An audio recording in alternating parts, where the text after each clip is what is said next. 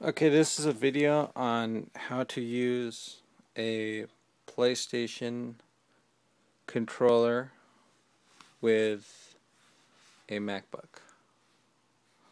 Right now,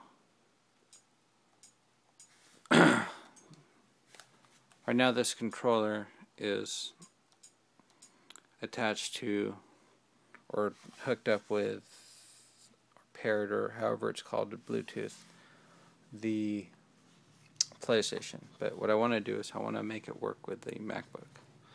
So I got the cable coming out the MacBook and to make it work with the um, MacBook, what I got to do first is I got to turn off the controller. See,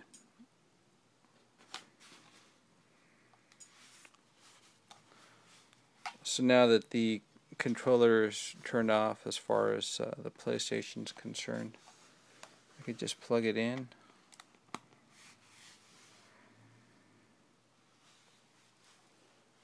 And now it's connected.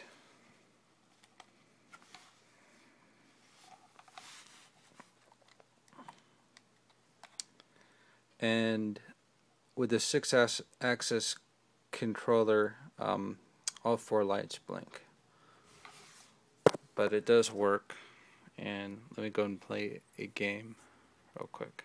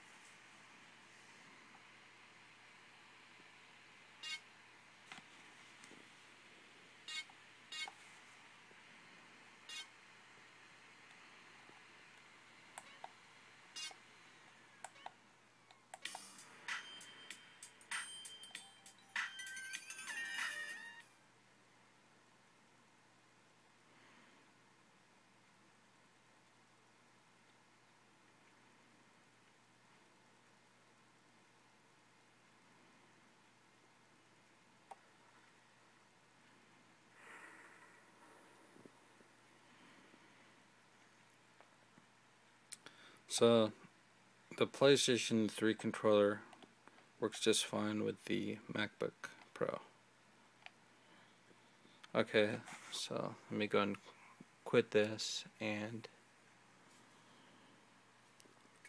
I'm gonna show on how to connect the controller back to the PlayStation.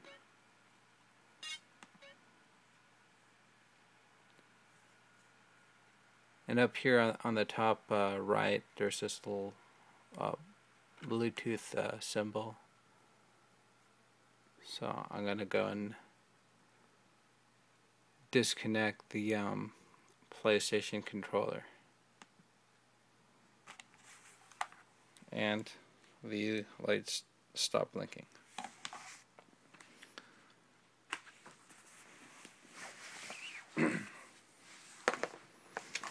Unless your PlayStation's on, you might have to turn on manually for this to work. I got this cord plugged back into the PlayStation and connect it on top.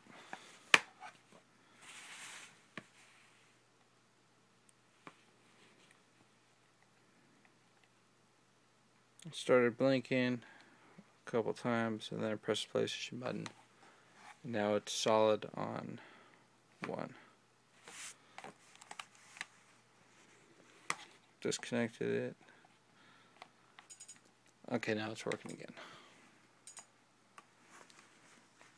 And that concludes um, how to use your PlayStation 3 controller with both a MacBook Pro and a PlayStation, how to switch them back and forth.